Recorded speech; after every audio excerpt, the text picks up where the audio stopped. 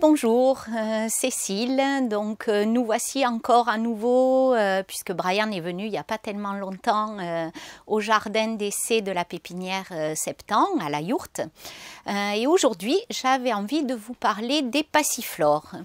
Alors les, les passiflores, passiflore c'est le genre, euh, il y en a vraiment beaucoup, je crois qu'il y a euh, plus de 500 espèces de, de passiflores. Aujourd'hui on va parler spécialement de, plus spécialement de Incarnata qui est ici. Passiflore incarnata. Passiflore. Celle-là par rapport aux autres. Alors, celle-là par rapport aux autres, on va dire que euh, tout peut s'utiliser en elle. Euh, celle-ci, donc, elle est un peu particulière par rapport aux autres parce que on dit qu'elle est herbacée. Herbacée, qu'est-ce que ça veut dire? Qu'elle n'est pas ligneuse, qu'elle fait pas de bois et donc elle disparaît l'hiver.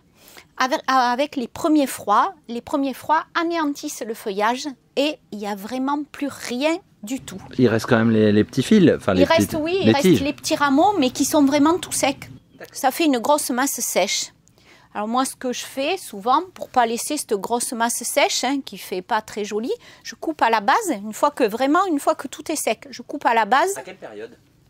Vraiment après, c'est en hiver en tous les cas, après le premier coup de gel, on va dire. D'accord, même à l'intérieur en serre? Ben, Cette serre, elle n'est pas chauffée. Euh, donc ici, en hiver, régulièrement, il fait euh, moins 6, moins 8. Ah, il y a des gelées à l'intérieur? Ah ouais. D'accord. Ouais, ouais, ouais, ouais. Alors là, donc, euh, tu me dis à quelle période, donc hiver, après le premier gel, on coupe tout à la base, on fait une espèce de boule et on le met par-dessus en paillage. D'accord, elle se, d'accord, elle se protège elle-même. Ça va, la, ça va la protéger. Ici, je l'ai mis dans ce tunnel froid, mais on ira voir tout à l'heure peut-être, j'en ai mis aussi à l'extérieur. Avec plaisir. Donc, cette passiflore, pourquoi elle est intéressante en premier lieu euh, Souvent, les gens connaissent le, fruit de la passion. Le fruit de la passion, euh, le, le qu'on appelle fruit de la passion, le classique, en fait, c'est Passiflora edulis. Donc, c'est une autre espèce. Edulis, c'est celle qu'on trouve couramment, qui viennent des tropiques. Donc, difficile de la faire pousser ici parce qu'elle elle craint vraiment le froid. C'est quoi sa rusticité? Mais elle a un fruit qui est délicieux. La rusticité de l'édulis, c'est euh, un petit moins de 3, bref. D'accord, waouh.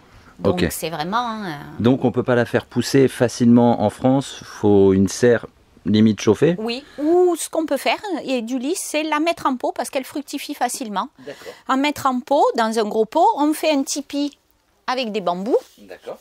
Dans le pot, donc elle va grimper tout, le printemps, été, elle peut, et une partie de l'automne, elle peut le passer dehors.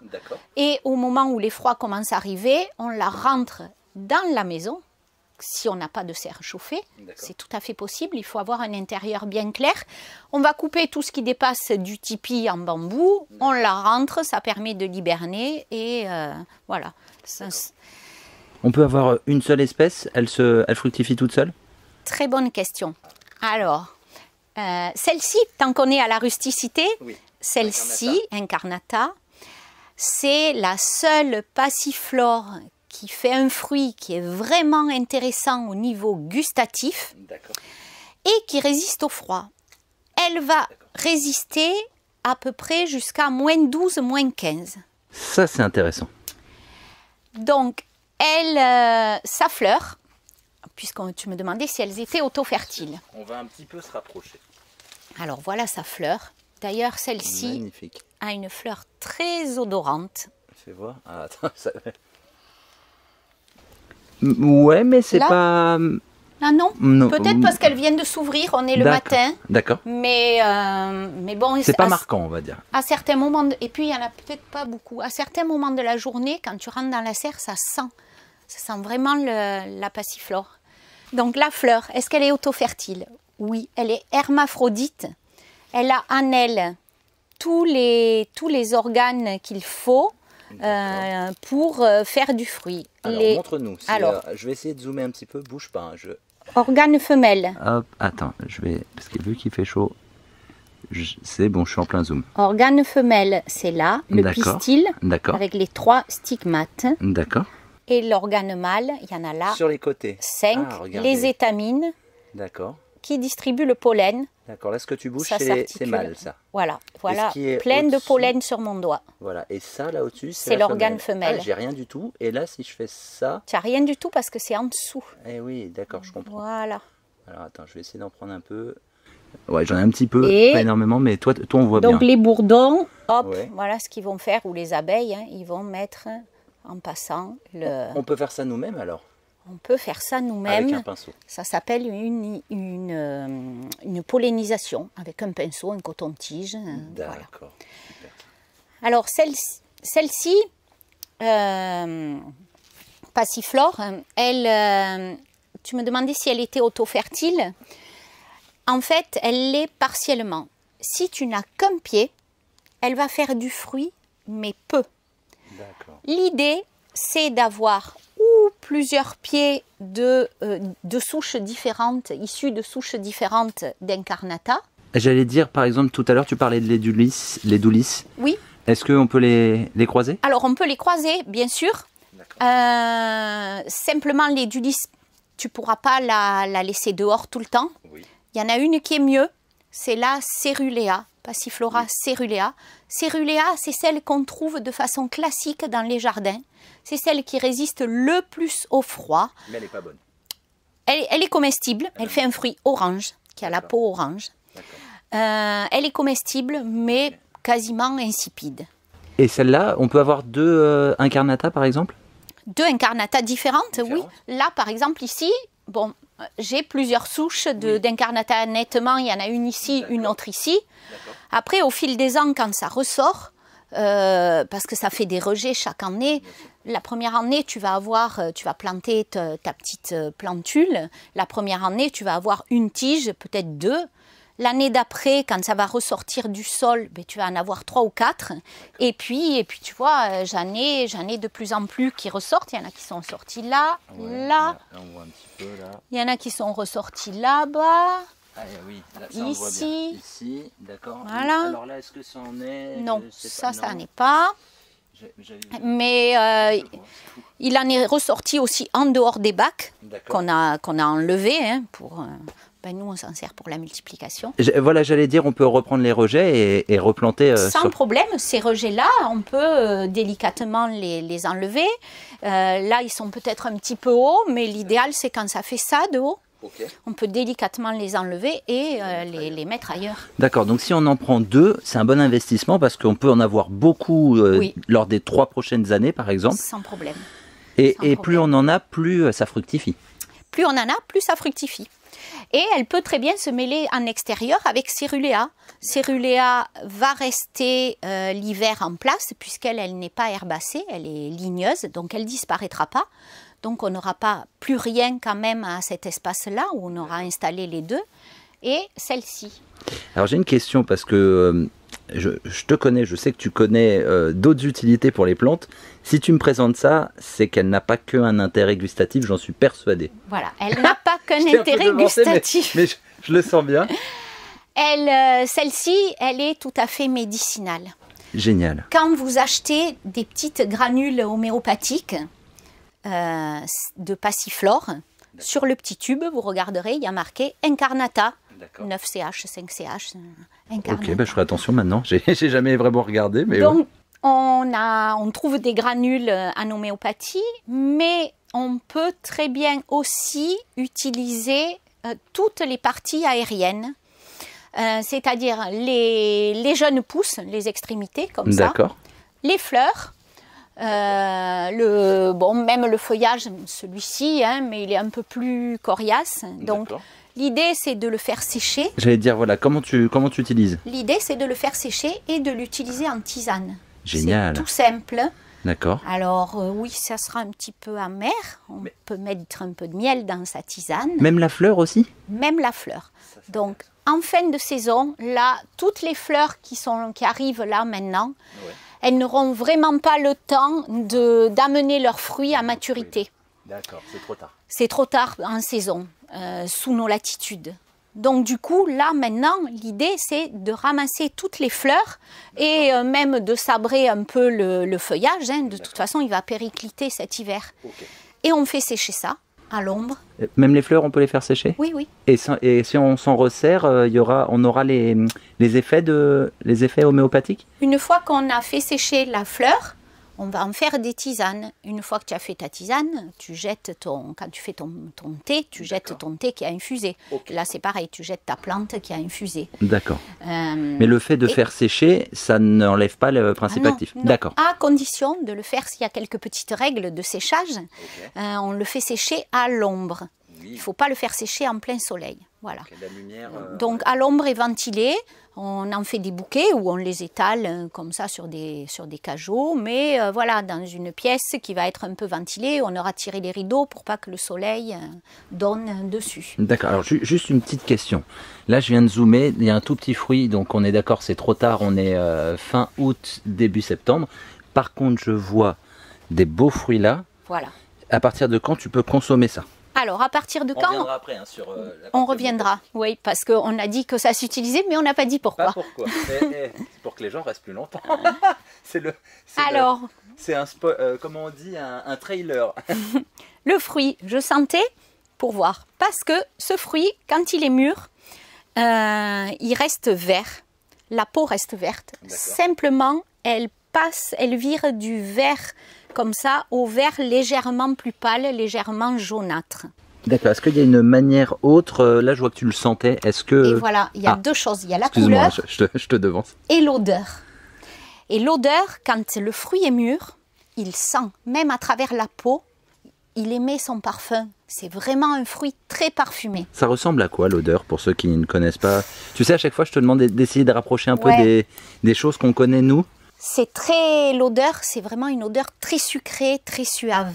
Là, par exemple, là, il est bon? Non, ah. il n'est pas bon. Simplement, je l'ai ramassé pour montrer, même s'il n'est pas mûr, montrer comment c'est à l'intérieur. D'accord. Alors, j'ai pas amené de couteau. Ah, mais ça se pète, euh, ça se pète bien. Voilà. Donc, on, voit nettement qu'il n'est pas mûr du tout. Et alors là, il y a des graines, tout ça, ça se reproduit après? Oui. Alors, quand il est mûr, la peau est beaucoup plus fine. Elle, fait, euh, on a vraiment juste la peau euh, verte quasiment. Ça, ce sont les graines. Autour des graines, les graines d'ailleurs à maturité sont plutôt euh, marron noir. Est-ce qu'on somme les graines? Non. Enfin oui, on peut les, on peut les consommer. dans ce cas, on ne les ressème pas. D'accord. Autour des graines, c'est bourré de pulpe. Là, on voit nettement que la pulpe, elle n'y est pas encore. Ce sera bon quand, en général, les, en général, ici, c'est mûr, euh, je dirais, début octobre. Début octobre, d'accord. Même s'il commence à faire frais, ça. Le fruit continue à mûrir lentement. Et alors j'ai une question là, par exemple. Tiens d'ailleurs à ce sujet, ça, me fait penser qu'il faut que je dise quelque chose. Eh ben, Pour la plantation, euh, voilà, comme c'est une plante qui va repartir du sol, l'idée c'est qu'elle reparte le plus tôt possible dans la saison. Dans l'idéal, il faut qu'elle reparte au mois de mai. Dans l'idéal, si au mois de mai elle n'est pas repartie, euh, on va avoir du mal à, amener à maturité le, fruit. Voilà. Donc, hum, moi, souvent, ce que je dis euh, à mes clients, euh, c'est vraiment, si vous avez un mur au sud, plantez-la contre le mur de la maison. Donc du coup, le mur de la maison va la protéger quand même un peu au niveau du froid. Elle disparaîtra moins rapidement et elle réapparaîtra beaucoup plus rapidement avec la chaleur du, mur. Et vous aurez du fruit euh, à maturité euh, à l'automne. C'est super. Alors, on va, on va continuer. Juste par exemple, là, tu as ouvert. Est-ce que si les gens euh, qui, par exemple, ont acheté de l'incarnata veulent reproduire, on peut, je présume, à partir des graines, est-ce qu'ils peuvent déjà ça euh, commencer à les utiliser pour les planter ou là c'est trop tôt Du tout. La graine n'est absolument pas mature. Elle est toute molle et euh, il y a vraiment voilà. Euh, Comment on reconnaît une graine mature? Elle est marron enfin, celles-ci, elles sont marron noires. Voilà. Et c'est un peu dur. D'ailleurs, tu me demandais si on pouvait les manger. Je t'ai dit non spontanément, parce que moi, je les, je, les recrache. Mais on, peut très bien euh, euh, les, les, les, mastiquer un peu et les avaler avec la pulpe. Ça a un intérêt gustatif? Non, pas spécialement. c'est la pulpe. Mais comme la pulpe se trouve autour de chaque graine, c'est vrai qu'on a du mal à séparer la pulpe et les graines. D'accord. Donc une fois qu'on l'a dans la bouche, on fait ce qu'on veut. L'essentiel, c'est le parfum. Et elle, elle en a, elle en a, elle en a. Et tu n'as pas une idée de ça se rapproche de, enfin c'est vraiment euh, fruit de la passion, un peu. C'est fruit de la passion. C'est pas tout à fait comme les du lys, mais c'est fruit de la passion quand même. Elle est très très parfumée. Pour te raconter une petite anecdote, euh, quand j'ai une année là en serre, on en avait en pot qui ont fructifié en pot. Et à l'époque, je gardais le labrador de ma fille. Et euh, c'était les premières années où j'en cultivais. Mhm. Et euh, moi, j'étais contente, j'attendais qu'elle soit, qu'elle soit mûre. Et puis, un matin, j'arrive dans la serre, le chien me suivait, il va direct à la passiflore, il renifle, il craque, il prend le fruit. Tellement, tellement, ça sentait bon, il a été attiré, tu vois, par, euh, par l'odeur. C'est pas mauvais pour les animaux? Du tout. Ok, on sait jamais. S'il des gens ont des chiens et veulent en faire pousser, ils pourront leur faire une bonne croquette. Du tout, du tout. Alors, je vais en profiter maintenant, on va revenir sur la partie donc euh, homéopathie, homéopathique tu me disais que ça, ça avait un intérêt pour soigner et ou pour protéger le, corps humain. Pour quelle raison? Alors, euh, son, indication euh, thérapeutique, c'est pour euh, un peu traiter tout ce qui est anxiété et troubles du sommeil. mais elle agit sur le système musculaire aussi. Donc, et, ça va avec le stress quand on est souvent quand on est stressé, on, est, tendu. D'accord. Et donc elle, elle va vraiment aider à la relaxation. Euh, l'idée, c'est euh, les gens qui ont du mal à s'endormir, euh, qui, une fois qu'ils sont au lit, le petit vélo qui tourne dans la tête, ils se refont la journée dix fois. ils moulinent trop des fois. Voilà. Ah, Là, c'est l'indication idéale. En tisane. En tisane. D'accord. Les tisanes, on peut prendre, on met donc euh, à peu près une cuillère à dessert par tasse. D'accord. Et on peut boire 2-3 tasses par jour. D'accord. Ça peut être ponctuel. Si par exemple on a euh, un examen à passer, on est stressé, on le fait euh, huit jours avant. Voilà. Mais ça peut être aussi en cure plus longue, justement pour les personnes qui ont des problèmes de troubles du sommeil. Et là, on prend au moins une, une tasse avant le, avant le coucher, une heure avant le coucher. Ça, voilà, ça apaise et on s'endort mieux. Alors tu disais que ça pouvait apaiser euh, au niveau musculaire. Est-ce que tu l'as déjà testé en cataplasme Voilà. Ça marche Oui, ça marche. Excuse-moi, je te devance depuis tout à l'heure, mais je me dis. non, mais très bien, très bien, très bien. En cataplasme, ça marche. Dans ce cas, comment on fait? On fait une tisane. On met de la gaz à tremper dans sa tisane. de la gaz, c'est euh, c'est vendu en rouleau en pharmacie, c'est un textile ah tissé. Euh, oui, je vois. Voilà. Et tu le mets, voilà, moi je fais là d'instinct, parce que moi c'est souvent là que les trapèzes là sont un peu euh, tendus. Et donc on le met en cataplasme là. Voilà, tu peux t'endormir avec, il n'y a pas de souci. Ouais, tu peux t'endormir avec. Après, ben, c'est mouillé, donc c'est pas très mais voilà, ça marche, ça marche en cataplasme. Je vais essayer de te, poser une colle, euh, te, pardon, te poser une colle, parce que tu as, l'air de bien connaître. Est-ce qu'on peut utiliser sa racine, vu que je vois que ça fait des, des repousses? Est-ce que tu as déjà testé quelque chose dessus? Non. Et je connais rien sur sa racine. Enfin, j'ai jamais rien lu euh, qui concernait sa racine. Je pense qu'on n'utilise pas sa racine. Et tant mieux, parce que s'il fallait aller l'embêter au niveau des racines.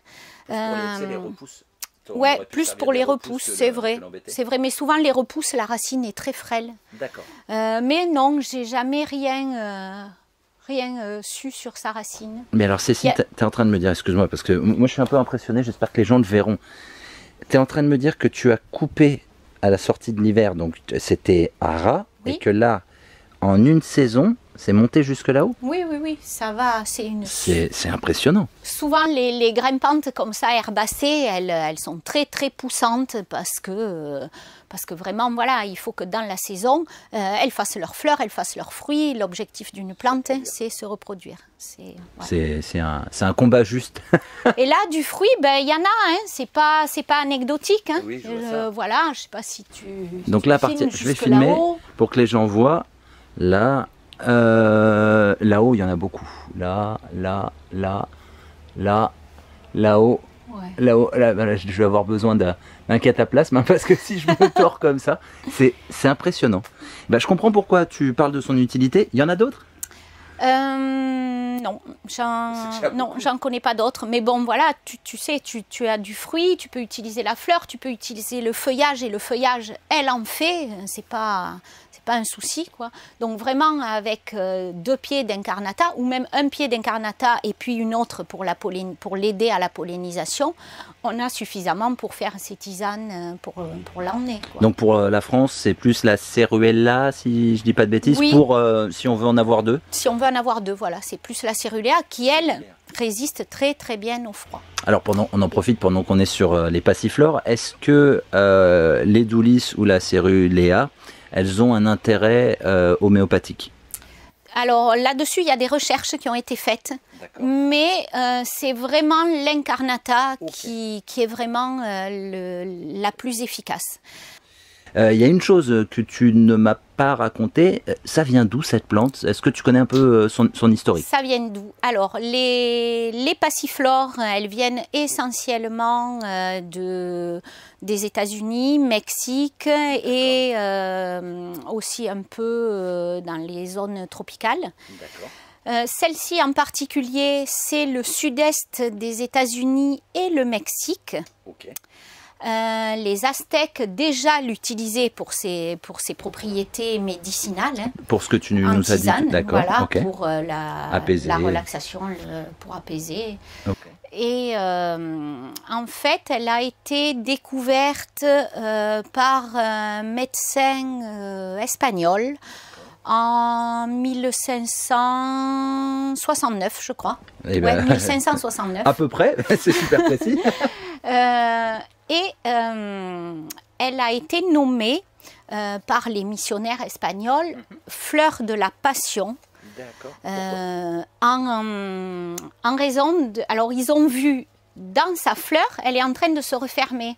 Euh, ils ont vu dans sa fleur la passion du Christ, plus spécialement la crucifixion du Christ. Par rapport à quoi? Par rapport à quoi? Alors, on a ici les organes femelles, les trois stigmates.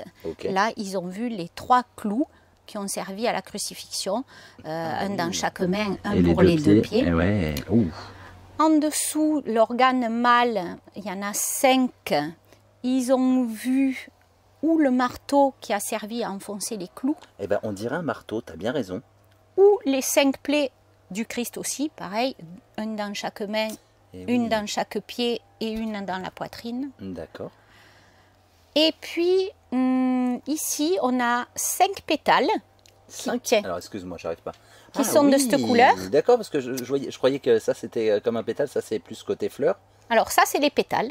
Ah, c'est un pétale, d'accord. Il y en a cinq. Il y en a cinq. Ok, Un, pardon. deux, ah oui, moi je regardais Trois, le vert. Ok. 4, 5. Le vert, c'est les sépales. Les Le sépales. vert, c'est ce qui est là, qui ferme, qui en- avant que la fleur ne s'ouvre, Ah ouais. c'est ce qui forme le bouton de Les fleur. sépales, tu dis. Voilà, ça s'appelle les sépales. Parce que je m'en reviens parce que l'hi- l'histoire est, est fantastique. Donc, cinq pétales, cinq sépales, les apôtres.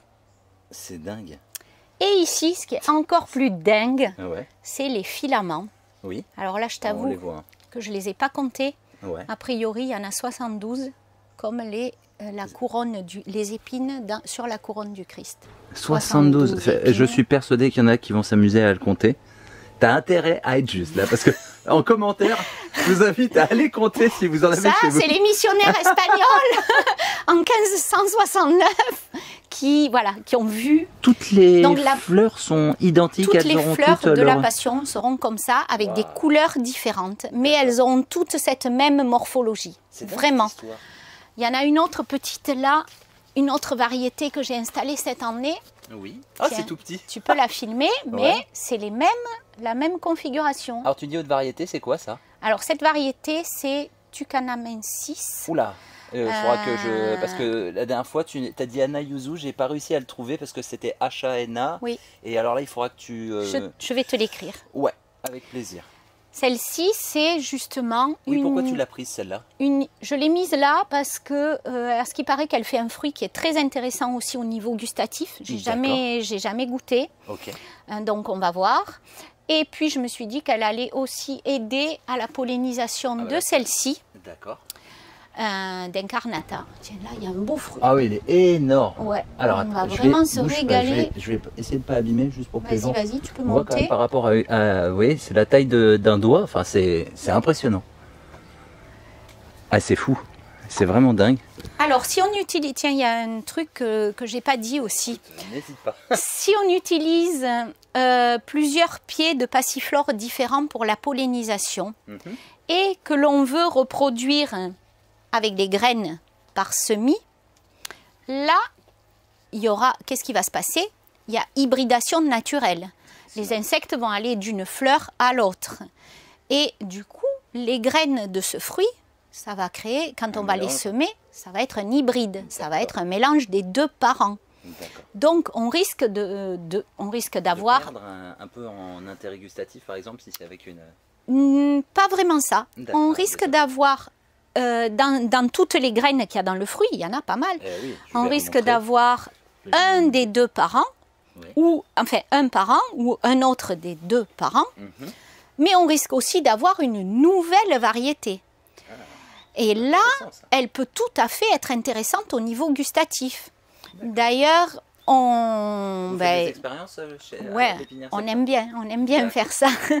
Bon, c'est un petit peu délicat parce que il faut arriver le matin sur une fleur qui ne s'est pas encore ouverte, Eh oui. enfin qui est en train de s'ouvrir pour être sûr qu'elle n'a pas été pollinisée. On prend le pollen de, de la fleur voisine, on va de l'autre espèce, on va le lui mettre. Vous le, faites, vous le faites souvent, ce genre de choses au pinceau Si on a du temps, ouais, on aime bien le faire. Moi, j'aime bien Si le vous faire. avez du temps, donc vous, vous le faites pas souvent alors. Parce Non. que je sais à quel point vous êtes très sollicité. Et une fois que c'est pollinisé, il faut vraiment pas qu'il y ait un insecte qui aille mettre autre chose. Donc vous protégez. Donc on met une petite gaz dont on parlait tout à l'heure pour les cataplasmes. Ah, donc, On met une petite investissez gaz. Dans, dans la, la gaz, on dit une gaz? Ouais, une gaz. C'est G-A-S-E Z. G-A-Z Comme Oui, je crois. Gaz, Ouais, je sais pas. Z-E, Z-E. Ah, G-A-Z-E. ga- D'accord. Bah écoute. euh, Ouais, décompresse. Voilà, Ouais, on le voilà. trouve en pharmacie tu- sous le nom compresse. Donc tu protèges ici pour que pour qu'il n'y ait plus d'insectes qui rentrent. et, et le fruit qui Et- sera ici, si tu as mis deux, deux exemplaires, euh, enfin différents, Oui. de, de variétés. Mhm. Le fruit, si tu récupères les, les graines Oui. en- vers le mois d'octobre, euh, Voilà, si tu les replantes, tu obtiendras un, un, un enfant des deux qui peut avoir des deux. euh, Voilà, selon les graines, on va, retrou- on va peut-être avoir une incarnata dans le lot, ou peut-être 10 incarnata, une céruléa, si j'ai multiplié avec céruléa, et puis quelques-uns qui seront des hybrides des deux.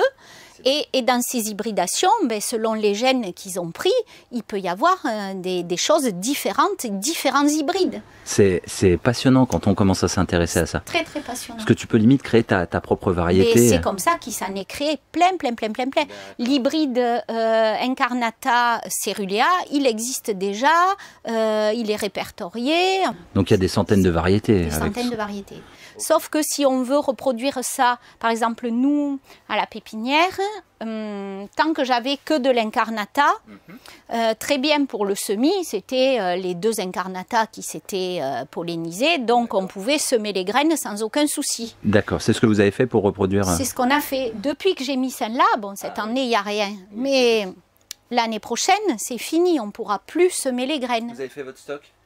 Ou alors, on va en semer, mais on va avoir des hybrides. D'accord. Et peut-être on aura un truc intéressant. Et dans ce cas, on va reproduire notre incarnata par bouture. Elle se reproduit très bien par. C'est ça, donc reproduction par bouture, par graine. Euh, est-ce qu'on peut faire, est-ce qu'on peut faire du marcotage euh, euh, directement sous terre? Est-ce que ça reprend racine? J'ai jamais fait ça. Euh, j'ai enlevé les rejets, ça oui, c'est On peut facile reprendre les rejets, d'accord. voilà. Mais la bouture, elle est vraiment très facile. Tiens, viens voir. Euh, J'avais une petite tige. Je me promène dans la jungle, excuse-moi, avec la caméra. Regarde là-haut, il y en a aussi des Oh très là là là regardez tout ce qu'il y a encore, c'est impressionnant. Oh, il y a des, des beaux sujets. Voilà, on a des rejets ici aussi qui sont repartis de là, en dehors du bac. Bon, j'ai fait grimper. Faut que j'évite de trop te poser de questions. Tiens. Après, on a envie de posséder ce que tu montres, c'est impressionnant. Tu peux filmer là parce que là, Aïe, aïe, aïe, elle est, elle est en train de se noyer Oh là là.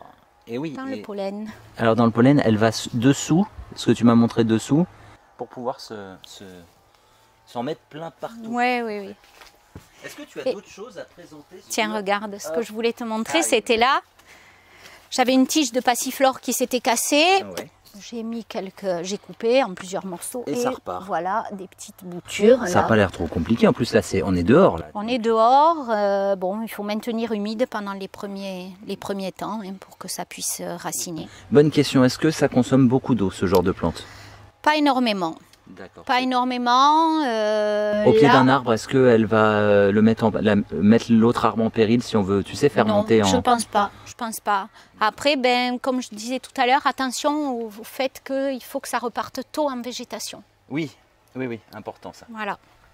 D'accord. Est-ce que c'est J'allais dire c'est tout, on a déjà une vidéo de plus d'une demi-heure. Est-ce que tu as d'autres choses à dire ou est-ce que tu penses avoir fait un, beau tour d'horizon de, cette magnifique plante? Je pense avoir fait un beau tour, euh, ouais, je pense avoir fait un beau tour d'horizon. Alors, je, je, tiens à dire quelque chose aux gens. C'est que là, tu viens de parler d'une seule plante. Bon, on a parlé de plusieurs variétés. Tu en as à peu près 500 euh, alors quand on dit 500, est-ce que tu peux euh, préciser pourquoi on dit 500 sur 3000 mètres carrés? Parce que j'ai eu des questions. Ah, oui, c'est vrai qu'on a dit 500 fruitiers. C'est pas vraiment 500 fruitiers dans, le, dans les 500. Il y a aussi tout ce qui va servir aux fruitiers et qui sont plus des plantes pour aider à la pollinisation. Certaines plantes ne vont faire que de la fleur et, euh, et, elles vont servir juste à attirer les, les, insectes et à maintenir une biodiversité. Mais, mais il en faut. Alors ça, il faudra qu'on fasse une vidéo rien que dessus, les auxiliaires, les plantes qui permettent de pouvoir euh, euh, bah, rendre les autres plus belle, plus résistante. J'ai oublié de dire encore un petit truc. Ne vous inquiétez pas, en début de saison, elle fleurit, elle fleurit et on ne voit pas de fruits se former. Pas d'inquiétude, c'est vraiment, euh, je dirais presque qu'il faut un petit mois de fleurs euh, avant que euh, la, pollinisation, enfin la fructification ne s'enclenche. Ça, je ne sais pas trop l'expliquer. Euh, je sais que par exemple avec les premières fleurs de courgettes, là, ceux qui ont des pieds de courgettes, ils ont dû le remarquer. Les premières fleurs, elles avortent ou elles donnent un petit fruit qui jaunit. J'ai pas eu une seule courgette cette année à cause des vents, euh, de la chaleur et des vents. Ça a détruit. Donc, euh, excuse-moi, continue, je mais je, je, comprends parce que, j'ai un petit surplus de oh, courgettes. Oh, merci. je suis gâté. Et donc les premières, je, me disais, bon, c'est peut-être un peu comme ça, les premières fleurs ne, font pas de fruits, mais tu vois très bien qu'après, ça y est, euh, ça y est, ça s'y met. quoi. D'accord. À partir de, quand ça commence à sortir les, euh, fleurs?